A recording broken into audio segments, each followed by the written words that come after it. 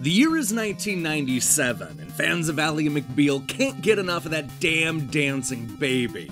This was the year when George Lucas decided to start adding crappy CGI to Star Wars. Everybody began hoarding those beanie babies, and Mattel got hot and bothered by Aqua's song Barbie Girl. But we're not here to talk about how my life in plastic, it's fantastic, because today we're counting down Electronic Gaming Monthly's worst reviewed games of 1997. Come on, Barbie, let's go party. Either 1997 was a really good year for video games, or the editors at EGM were more generous than usual, because the scores found in this episode are surprisingly high for a worst reviewed list. This has led to a bizarre tie for 5th place, with three completely different games stuck with a so-so score of 4.6 out of 10.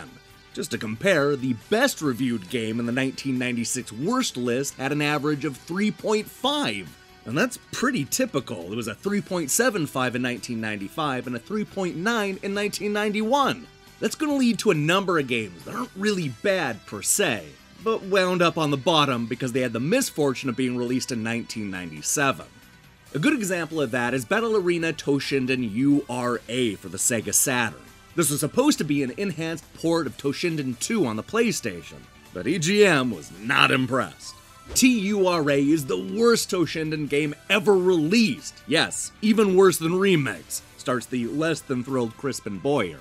Its graphics are extremely choppy, making it hard to tell who's hitting who, and only the high res, albeit flat, backgrounds keep the game from becoming an eyesore. The rest of the critics agreed, giving it an average of 4.6 out of 10. Speaking of underwhelming sequels, Reloaded also averaged a score of 4.6. While EGM loved the original, they felt the sequel was, well, pretty terrible.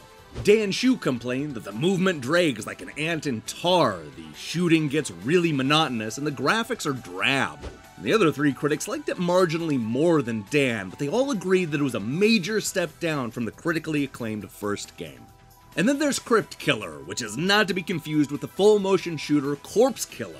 Sushi X explained that he likes light gun games as much as the next guy, but wonders why is it that the graphics look like something out of the 1980s? He hated the horrible, blocky enemies and erratic accuracy, which sounds like a real problem with this kind of game.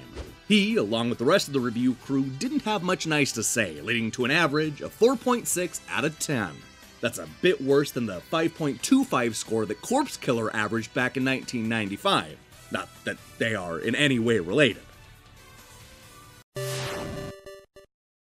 It wouldn't be a worst of EGM list without a game based on a movie. This year's entry is Dragonheart Fire and Steel, which was based on the poorly received 1996 film Dragonheart, which starred Sean Connery as a giant CGI dragon and was a moderate hit at the box office. Acclaim probably figured that the promising story and setting would lend itself perfectly to a 32 bit action game, and the truth is, it probably would have, if somebody other than Funcom made it. Dan has a theory. Some game designer who's probably out of touch with reality decides that gamers want great graphics. Let's make graphics our only priority! And boom, out comes Dragonheart. He concluded that Dragonheart has less substance in it than the Pope. Huh. Sushi X didn't like the movie or the game. Considering the failure of the movie, it's not surprising that the game would follow suit. He complained that after the graphics, there's literally nothing to recommend. Bad music, bad gameplay, bad everything. Somehow, this game performed even worse with the critics than the movie, averaging a disappointing 4.5 out of 10. When you clicked on the link called Electronic Gaming Monthly's Worst Reviewed Games of 1997, I bet you didn't expect to see a Resident Evil game make the cut. Especially not Resident Evil Director's Cut. I know what you're thinking. Wasn't Resident Evil just named one of the best reviewed games of 1996? What gives? The problem is that the EGM editors felt like they were lied to, and that this so called director's cut wasn't all that different from what came out a year ago. The best thing I can say about Resident Evil Director's Cut is the Resident Evil 2 demo included on the additional CD, bluntly states Sushi X. In a really bad move, Director's Cut isn't uncensored, which makes it a waste of money. It's also worth noting that both Shawn and Kelly took this moment to talk about how they weren't big fans of the original version.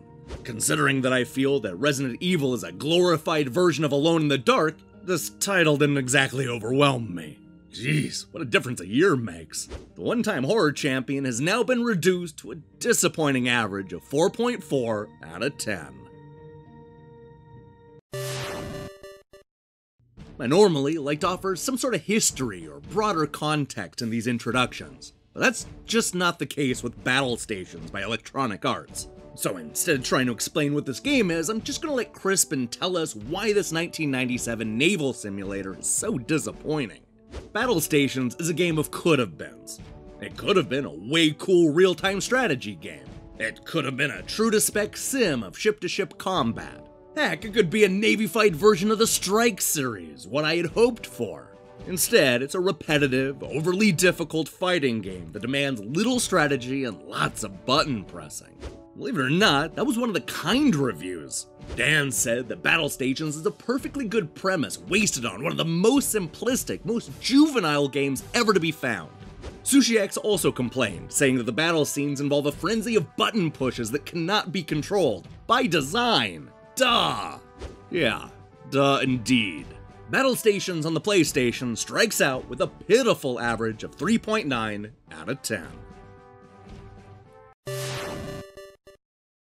Now, there's an argument to be made that Artdink was ahead of its time. While their 1996 game Aquanauts Holiday left a lot of critics scratching their heads, its unorthodox approach would have fit in perfectly in 2018.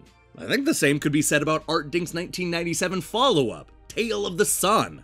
It's a caveman game where you go around and do just about anything. This approach left some critics enraptured, but Electronic Gaming Monthly wasn't having any of it.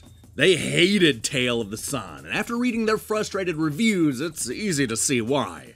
A caveman's journey to enlightenment? Starts fake Ninja Sushi X. This isn't exactly what I look forward to when I flip on my systems. He thought the idea was sound, but found playing the game to be downright boring. Dan agreed, and even went a step further by warning people not to buy it. However, he did recommend renting the game. Why? Let me just say this the game is so dull and meaningless, some of the staff actually crowded around to make fun of it. Now that's entertainment. It makes me wonder what these critics would say about the game now that 21 years have passed. With nothing but scorn and mockery, Tail of the Sun averaged a dull and meaningless 2.9 out of 10.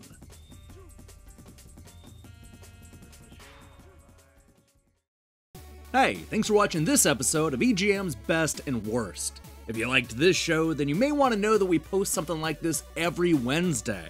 So here's the question I have for you What is your least favorite game of 1997? The truth is, this was a pretty good year. To expand on what I was talking about earlier in the video, EGM's review average in 1997 was a straight 7 out of 10, which is quite a bit higher than the magazine's overall average of 6.6 out of 10. Anyway, let me hear your picks in the comments below.